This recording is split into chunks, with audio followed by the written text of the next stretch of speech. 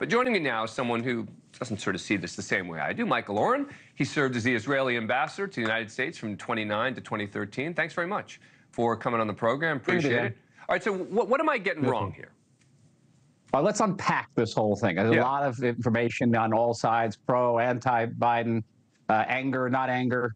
Uh, let's unpack it. Okay. In Rafah is the last holdout of Hamas. Yep. Hamas has four battalions there. Hamas eh, comes out of its tunnels in Rafah. It will retake the Gaza Strip. It will rearm. It will reorganize. And it will stage not one, but according to their own leadership, 10,000 onslaughts of October 7th to destroy us.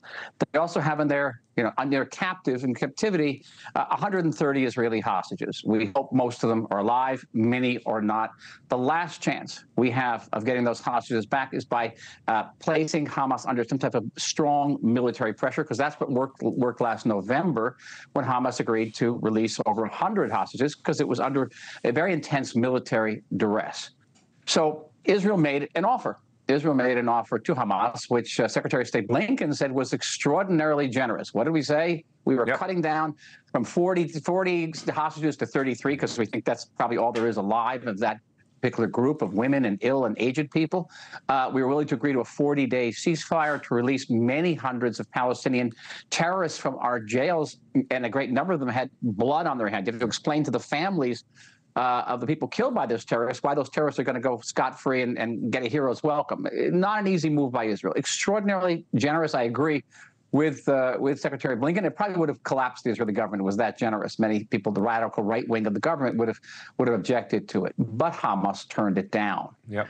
And once and Hamas by the way, just so we're clear, just, let's just stop no there choice. for one sec. I just want to stop there yes. for one sec. I completely agree Please. with you up to this point, right? I was very critical of the protesters. I was saying, why aren't the protesters demanding Hamas accept this deal? Um, if you want to talk about a ceasefire, that's the way to get it. Okay, I'm sorry for interrupting you. Let's oh, get to the part maybe where, you, where, where, we don't agree. I don't think so. I think there's nothing really to disagree yeah. about. Israel has no choice but to go into Rafah. If you, but if what about does Hamas the U.S. But but let's talk about that. Does does I if Israel feels it has to go into Rafah, it'll go into Rafah. But it doesn't need to go in with U.S. munitions, right? They've got enough. Um, munitions on their own. This idea that this suggests that Biden is now abandoning Israel, that, that's the part that I don't quite get why people are so angry about this proclamation. I mean, it's what it symbolizes. Israel uses is American munitions. The vast majority of our, our weapons and munitions are made in the USA. Uh, and you know, I don't actually know what our stocks look like right now. I know they've been depleted by this war. We're fighting a two-front war. We're fighting up in the north against Hezbollah, uh, and uh, it will have some impact on the battlefield. Um, maybe even have a negative impact on the battlefield because we'll have to use older ordnance and maybe less mm. accurate ordnance, which I don't think anybody wants. I think the, it's the message that counts, Dan. Mm. It's the message to the region.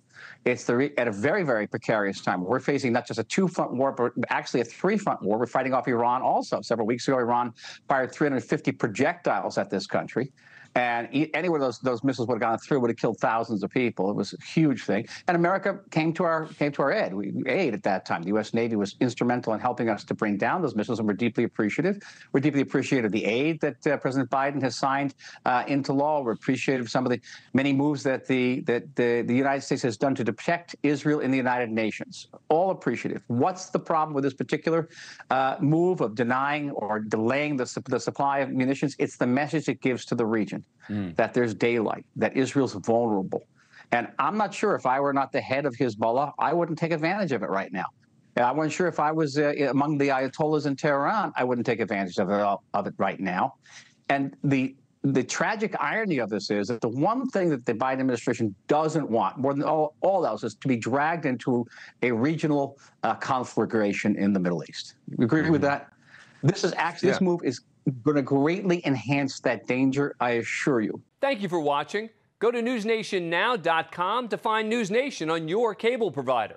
And don't forget to click the red subscribe button below to get more of News Nation's fact driven, unbiased coverage.